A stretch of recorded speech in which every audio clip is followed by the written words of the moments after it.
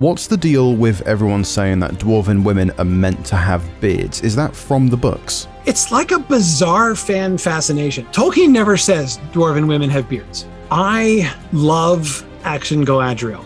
Love it. I just I just love it. Hi, my name is Corey Olsen, the Tolkien Professor. I'm president of Signum University, and I've been doing a podcast on Tolkien called The Tolkien Professor for more than 10 years now. And I'm going to be talking today about the new teaser trailer for The Lord of the Rings, The Rings of Power, and also talking about some of the recently released images uh, from the show coming up.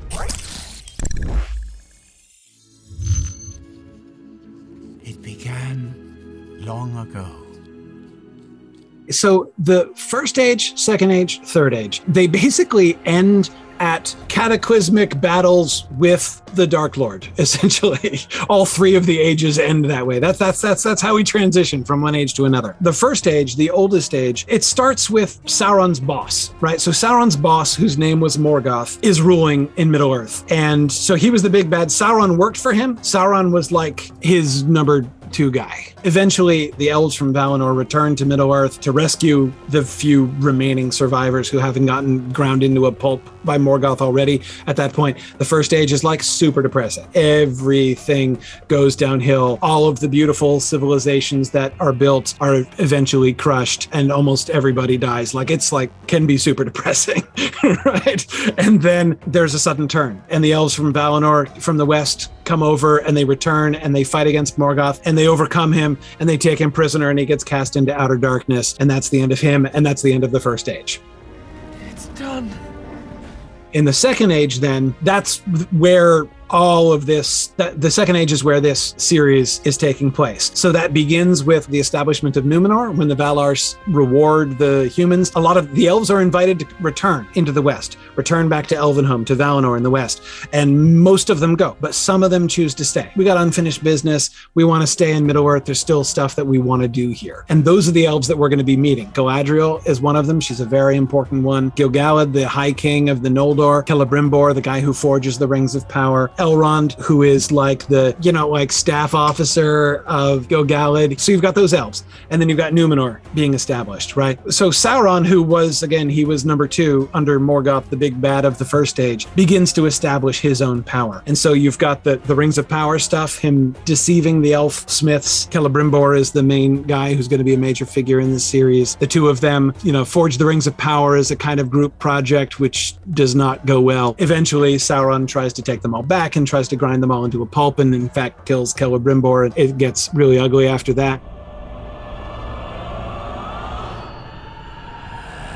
In the end, Sauron is a real problem, right? So after Numenor falls, the last of the Numenorians come over, and that's when you get the last alliance of elves and men, right? So the last remaining elves who are over in Middle Earth, and Elendil and his sons Isildur and Anarion, the last of the Numenorians who have established their new realm. Gondor has been founded. They come together and they fight against Sauron, and that's the scene at the beginning of the Peter Jackson films with the overthrow of Sauron and the cutting of the ring from his hand. That's the end of the Second Age. The overthrow of Sauron after the Battle of the Last Alliance, Elendil dies, Gilgalad dies. That's the end of the Second Age. But Sauron's not dead. He loses his physical form and he sort of flees. His spirit flees, but he gets better eventually. Like he slowly kind of rebuilds his power until he's able to take shape again and cause trouble again. And that's what's happening at the end of the Third Age when the Lord of the Rings story proper begins. Of course, culminating with when finally the ring is destroyed and Sauron defeated permanently, which again, you overcome the big bad, you end the age. That's the end of the Third Age and the Fourth Age starts. So that's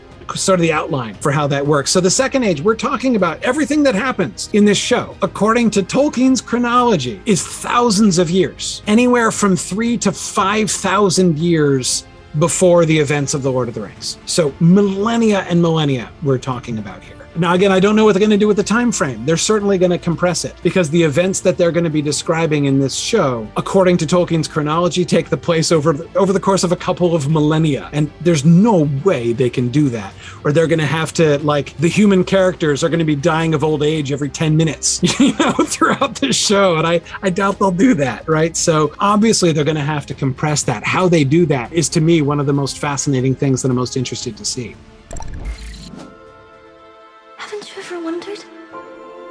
What else is out there? The first thing that I was amazed by with this is all of the buildup, of course, for the trailer and for the, the TV show, mostly elves. Well, elves and Numenor, right? Because, of course, those are the stories that we know from the first age. We know, of course, the Rings of Power and the forging of the Rings of Power with the elves and, and Sauron. And, of course, we know about the island of Numenor, where the humans who are kind of being rewarded after the first age were, were sent and they built this huge empire and everything. The rise and fall of Numenor, huge deal. And the trailer opens touching on those things, but not really focused on those things at all. Instead, we get the perspective of a Middle Earth hobbit perspective. And so this, of course, brings up one of the questions that people have had about, you know, the, the series. People are like, hobbits in the second age, what the heck? And I would just remind people here, there's no reason to think that hobbits didn't exist in the second age. It is true that we have no stories of hobbits prior to the third age. So the opportunity to get to see hobbits in the second age that's a lot of fun. Now, you may ask, why? Why would you shoehorn them into the story? Well, keep in mind the story that we know from Tolkien's materials in the Second Age, again, it's very limited. He never wrote the story of the Second Age, it doesn't exist in Tolkien's writings. We get summaries, we get lists of major things that happened, but we don't get a full, you know, he never wrote a full account of the Second Age. This woman here is one of our proto hobbits, uh, one of our Harfoots. We seem to learn some things about her and about her culture in these first 20 seconds. There's wonders in this world beyond our wandering. Wonders in this world beyond our wandering right? That suggests probably that the hobbits that they're depicting, the Harfoots, may be a nomadic people, but also with a sense of something else, that there are wonders in the world, right? Maybe some memories of ancient days that exist. They know of these. There are these big places out there in the world that they seem to be vaguely aware of and are being drawn towards. And I actually love that because that's a major theme of sort of humans and elves interacting in Tolkien's world. Not that we get that mostly, especially in the first age, way back in the distant days prior to what is going to be described here in the series. But that humans come into the stories and they first interact with elves when they they have like legends and uh, and ideas that there is light in the west and that there's something greater out there that they can go and find. And that's how eventually they come into contact with the elves and end up allying with them in the first age. And we can hear hints of that same same kind of idea from our apparently our our Harfoot folks. And I think this is really this is really cool. And you can see in the very first sequence, it starts off with a glimpse of what is almost certainly a Numenorian city, following the quite complicated ship, right, beneath the fancy arch. And then we see the great city in the harbor. This is almost certainly a city in Numenor. If I had to guess, I would say this is the city of Romenna on the, the eastern part of the island. But anyway, this is clearly a Numenorian city. You know, so it starts off with giving us a visual image of the great things that are out there, right? But the voice that we're hearing is from that Middle Earth perspective, and that's a fascinating frame for this entire uh, this entire show, the entire action here. And I think that was that was the thing that most more than anything else blew me away. That we started from the perspective of that Harfoot spokesman, and uh, it really sets things up in a very interesting way.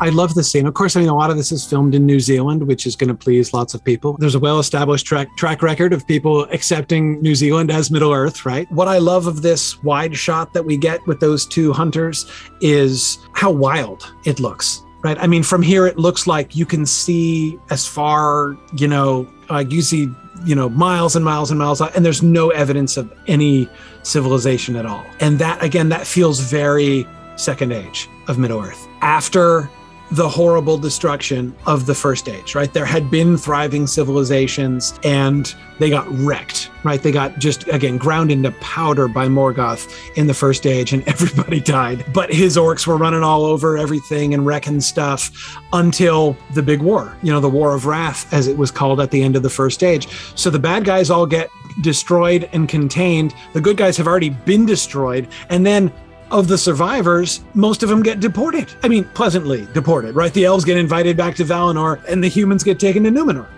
Middle Earth, like what was like everything that was there in the parts of are desolate, right?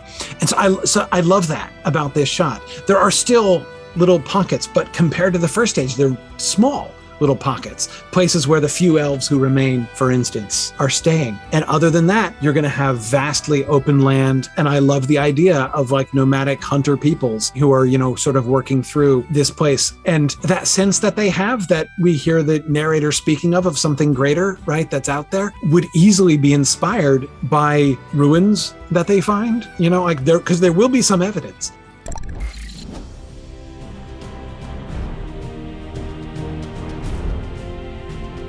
So I love Action Galadriel.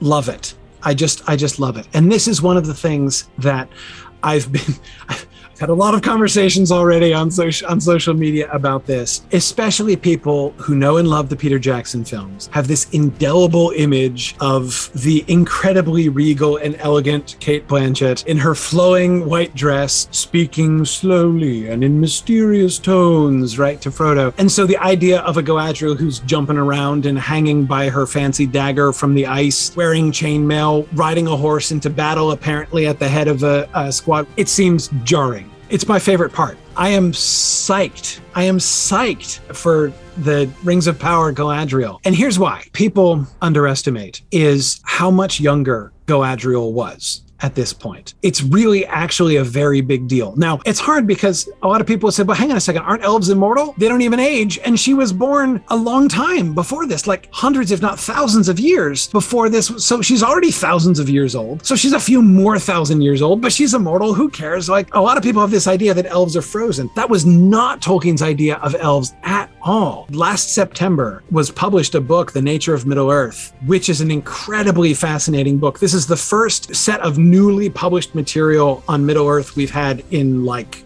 decades, since like the 90s. Well, maybe not, but in almost 20 years, basically. One of the things that he does a lot of in this book is he talks about elvish ages and aging, and he keeps bringing it back to mortal equivalence. He very much does imagine his elves having a kind of life cycle and growth and maturation cycle, which is parallel to, it's not on the same scale. You know, there are like different ratios. Like they, they may age at like 144 years to one, but they do age and they do progress. And in fact, he spends a lot of time. In fact, he does it like five different times. He calculates the exact age of Galadriel like her maturity level in the end decides that at the beginning of the second age in other words right around where this series is taking place galadriel is the mortal equivalent of 21 whereas in the third age when we meet her in the lord of the rings when we meet cate blanchett galadriel she is 54 in mortal equivalence. She's a senior statesman beginning to contemplate retirement. So I like this. What exactly is happening here? What's going on? Is this a private quest of hers? Is this part of a flashback from earlier on? Also possible. But I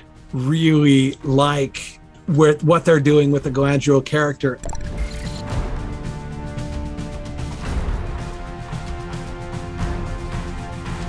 I think I watched it two or three times before I exact. I mean, I could see that like cool archery was happening, but that he's actually catching the arrow and then shooting that same arrow back. It was at least twice or three times I watched it before I really tracked. I think that's really fun. So the Sylvan Elves, once again, made up character.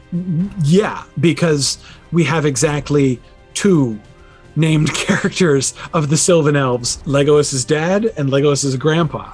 right? Those are exactly the two named elves that we know of. Unless they want to tell a story about the king of the elves of Mirkwood, they're not going to, you know, they have to make up a character. So that we're going to be getting the Sylvan Elves involved is, I think, appropriate and interesting. I mean, I like seeing the sort of diversity of elvish culture in Middle Earth, which is really diverse, and especially, especially in the Second Age, because in the Second Age you get few isolated, strong strongholds of the high elves of the first age, those the ones who didn't leave, Gil-galad, Celebrimbor, Galadriel. And they're still running these gorgeous, sophisticated kingdoms. But then there are lots of other elves out there who are scattered and who live in the woods. Uh, Sylvan means like wood elves. They are in the Hobbit. They're called wood elves, right?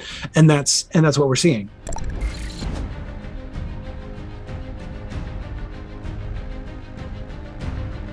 Tolkien gave very little in the way of physical description. We actually know very little about even central characters. What color is Merry's hair?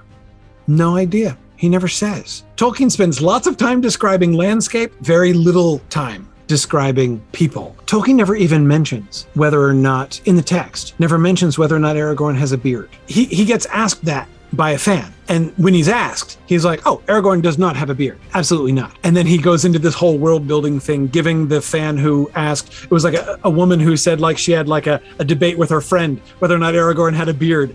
Can you settle this, Professor Tolkien? And he launches into this whole like world building about the history of the line of stewards. It's awesome. Like, it's like a hundred times more than this person asked for. So, like, he knows the answer to the question, but he didn't answer the question because Tolkien does not describe people. If somebody asks me the question, do I believe that Tolkien pictured most or all of these characters as light skinned? I think that in his mind's eye, yes, he was picturing them as white. But here's here's where it gets complicated. When he does world building, right? When he was writing doing his maps, for instance, he said things like so Minas Tirith is about the latitude of central Italy, and Umbar, the city down in the south where the Southrons come from, is about the latitude of um, Carthage in North Africa. In other words, all of the southern front of the Lord of the Rings, right? Gondor and all of that. So that means that uh, Dol Amroth down on the southern shore of Gondor would have been about the latitude of like Morocco, southern Spain, perhaps. Do you want to be true to what you think Tolkien was probably imagining? Or do you want to be true to what Tolkien said about the world?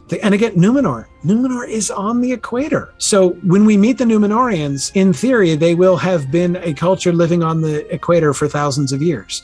I see no reason to think, based, you know, from Tolkien's story, that they should be Viking looking white folks.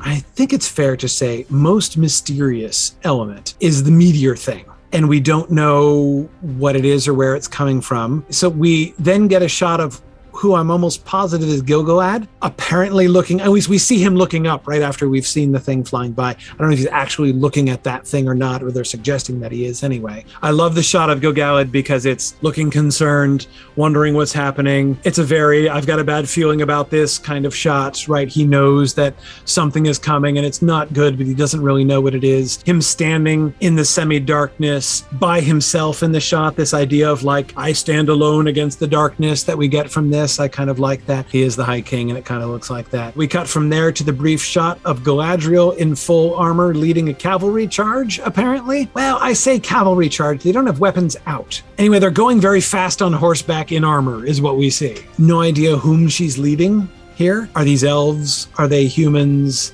And again, action Galadriel, leadership role, right out in front of everybody what's not to love? From here, we go to Torch Guy facing, I've heard called an ice troll and certainly seems to have ice on him. And there's definitely ice, seems, in the background of the cave. This, I think, is your like creature feature shot. And there are going to be cool CGI monsters, like is one of the things that we're seeing here.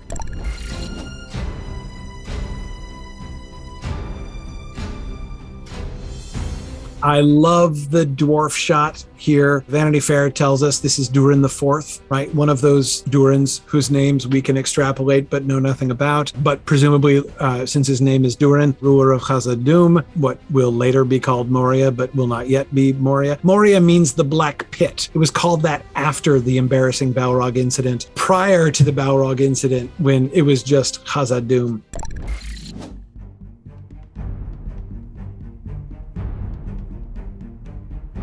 Young, extremely displeased looking Elrond in this scene. He's got his fancy armor. There's people celebrating in the background that looks like they might be dwarves. Has he been sent on a some kind of ambassadorial embassy that is not going well? That seems likely. That Elrond would be sent on such a mission is, of course, exactly what Gil-galad would do. Suggests to me further evidence that we're going to be getting a lot of that kind of intrigue, political, trying to form alliances and move forward and, and things. I've seen a lot of people asking, and even some complaining, that Elrond doesn't have long flowing elvish hair. What's up with that?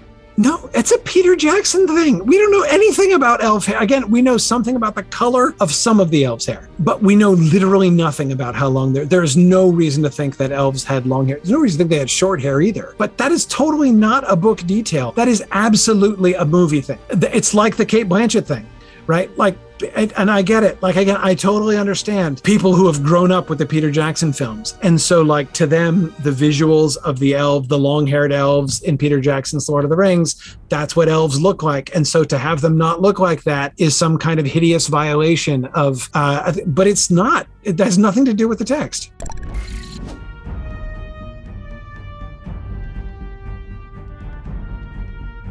She's singing, which is awesome I love that. My one of my favorite things in the trailer, actually. I mean, it's almost like a Tolkien Easter egg. You know, singing is super important in Tolkien's world. Like singing is a creation happened through singing, right? And that which is usually called magic is most powerfully done through song. And it's something that's really hard to depict well on screen. Peter Jackson rarely attempted it. Somebody singing and the singing, the song that you're singing, making things happen. So she's singing. This is a ritual moment. She's in very fancy garb with the gold dust on her hands, which is like dwarf makeup. Kind of love that, actually. What's the deal with everyone saying that dwarven women are meant to have beards? Is that from the books? No, she does not. So this is this is it's like a bizarre fan fascination. Tolkien never says dwarven women have beards. He says they rarely wander around. And when they do, they're often mistaken for dwarven men, meaning like they keep to themselves and like you don't know that it's a woman. That they have beards is not in the text. It's a joke that Peter Jackson made and everybody loved. It's true you don't see many dwarf women. And in fact, they are so alike in voice and appearance that they're often mistaken for dwarf men. It's the beards. And so it has become like rock solid canon in the minds of like a generation of Tolkien fans, especially movie fans, that dwarven women have beards. There is no textual justification for that at all.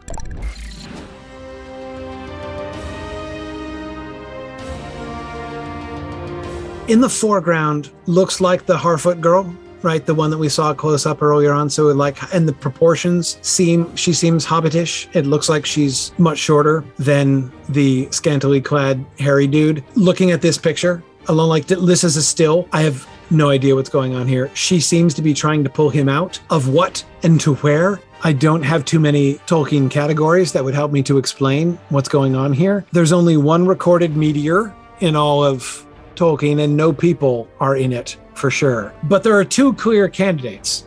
If this guy did arrive in a burst of flame, one would be a wizard. This would be a weird way for wizards to come to Middle Earth. Gandalf definitely does not arrive until the Third Age, and Saruman and Radagast. The three wizards we know from The Lord of the Rings don't arrive until the Third Age. In some of his very later writings, Tolkien suggested that the other two wizards, the blue wizards that we never meet or know anything about, might have arrived in the Second Age. So theoretically possible. Or they could move it up and be like, oh, yeah, whatever, Gandalf came early. Like the other person, of course, that this could be is Sauron. Of the theories I've heard, that's my favorite so far. That that this is Sauron's move to disguise himself. That he's going to disguise himself as like, I have come from the west. I am like this angelic figure descended among you in order to like I'm a faux wizard, basically, right? Descended among you in order to uh, help you in your time of need. That's totally believable. Sauron has enough showmanship to do this. Sauron is totally associated with fire, so he could obviously pull this off. Remains to be seen for sure. Yeah.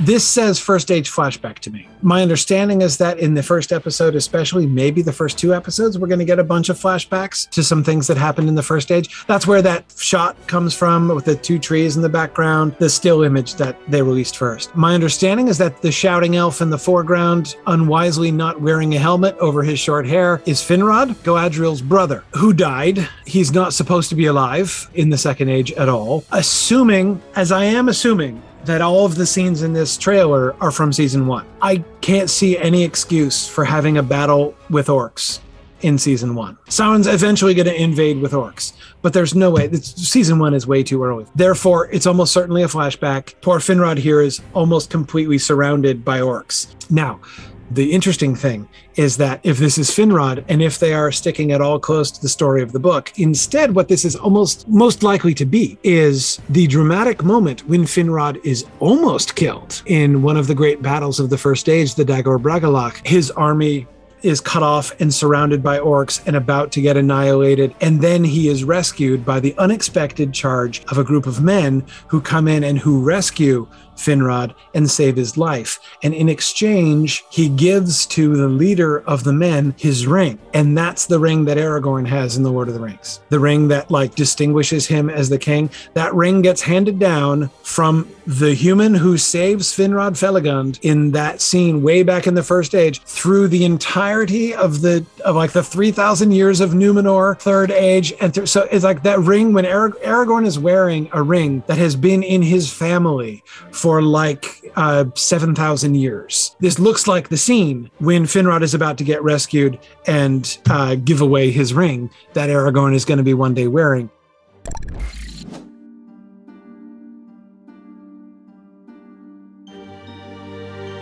in general, I'm encouraged. I love the look and the sound of it. I think it's beautiful. I see every reason to think that you know visually artistically it's going to be excellent. It's going to be i love the i love everything that i've seen. I almost everything can't say i love everything but i've loved most of what i've seen of like the costuming and the sets and the props and the landscape and everything. I think that they they seem to be doing a great job with all that stuff. As i've said i really enjoy what they're doing with the elf stories galadriel in particular. I'm excited to see the thing. If i'd say worries the meteor crater worries me a little bit. One of the things, like, if they go too far out of their way to just be like, and now a fight with a monster, and let's bring in a battle, that could become really forced and have an unfortunate effect on the unfolding of the story. But so far, I'm very encouraged. I'm really liking what I am seeing so far. And the speculations, the lines of speculation that the trailer is leading me into turn out.